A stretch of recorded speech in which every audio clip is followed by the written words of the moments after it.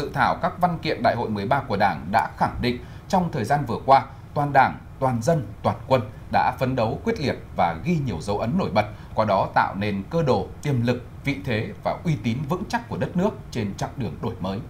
Có thể nói nhìn lại 35 năm đổi mới, 30 năm thực hiện cương lĩnh xây dựng đất nước trong thời kỳ quá độ lên chủ nghĩa xã hội, dự thảo các văn kiện trình đại hội đảng, đặc biệt là báo cáo chính trị đã chỉ rõ những thành tựu to lớn của công cuộc đổi mới đất nước trên tất cả các lĩnh vực. Một trong những điểm nhấn mới nổi bật đó là xác định cơ đồ đất nước sau 35 năm đổi mới. Việt Nam đã vươn lên thành một điểm sáng tăng trưởng trong khu vực và trên thế giới với nhiều thành tựu đáng ghi nhận. Nền kinh tế Việt Nam không chỉ tăng trưởng về quy mô mà chất lượng tăng trưởng cũng được cải thiện. Sau giai đoạn đầu đổi mới từ năm 1986 đến năm 1990, mức tăng trưởng GDP chỉ đạt 4,4%.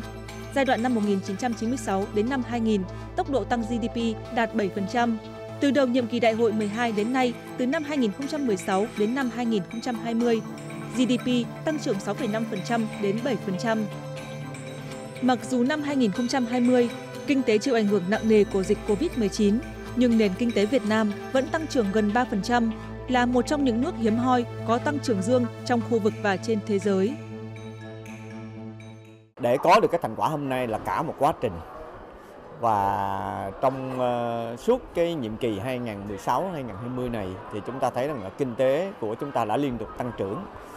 và cái điều quan trọng nữa là chúng ta đã giữ được cái cái cái kinh tế vĩ mô ổn định khá là vững chắc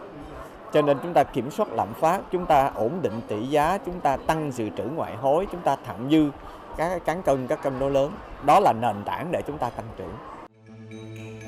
nhiều động lực tăng trưởng mới được xây dựng bên cạnh khu vực doanh nghiệp nhà nước và khu vực doanh nghiệp có vốn đầu tư nước ngoài.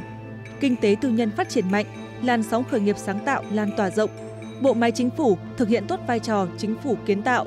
nỗ lực tạo môi trường kinh doanh, đầu tư thuận lợi để tập trung chuyển hóa nguồn lực từ tất cả các thành phần kinh tế vào phát triển kinh tế xã hội. Kể trong lĩnh vực xuất nhập khẩu thương mại nó có những cái biến động rất lớn cả về môi trường kinh, kinh tế bên ngoài cũng như là cái cái, cái thay đổi về cơ cấu hàng hóa trong nước thì cái việc kiên định với việc những cái chính sách hỗ trợ xuất nhập khẩu phù hợp với cái lợi ích của Việt Nam và phù, phù hợp với cái xu hướng chung của thế giới nó vẫn có ý nghĩa đặc biệt rất quan trọng và cái yếu, yếu tố cuối cùng đó là hãy đặt niềm tin vào doanh nghiệp những cái những cái giai đoạn mà chúng ta xuất khẩu tăng trưởng tích cực nhất trong giai đoạn gần đây thì cũng là những cái doanh nghiệp giai đoạn mà doanh nghiệp tư nhân của Việt Nam. 35 năm thực hiện công cuộc đổi mới, lý luận về đường lối đổi mới, về chủ nghĩa xã hội và con đường đi lên chủ nghĩa xã hội ngày càng được xác định rõ hơn và từng bước được hiện thực hóa. Đất nước đã đạt được những thành tựu to lớn, có ý nghĩa lịch sử, phát triển mạnh mẽ toàn diện so với những năm trước đổi mới quy mô nền kinh tế được nâng lên. Còn nhớ, bước vào đổi mới,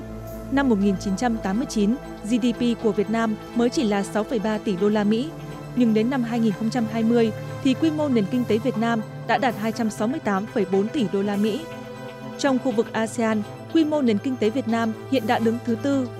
Cùng với đó, đời sống nhân dân cả về vật chất và tinh thần được cải thiện rõ rệt. Năm 1985, bình quân thu nhập đầu người là 159 đô la Mỹ. Năm 2020, bình quân thu nhập đầu người ước đạt 2.750 đô la Mỹ. Như vậy, so với trước đổi mới, quy mô nền kinh tế đã khác, bộ mặt, diện mạo nền kinh tế cũng như đời sống nhân dân đã khác. Đó chính là cơ đồ, tiềm lực, vị thế mà ngày nay Việt Nam đã gây dựng được.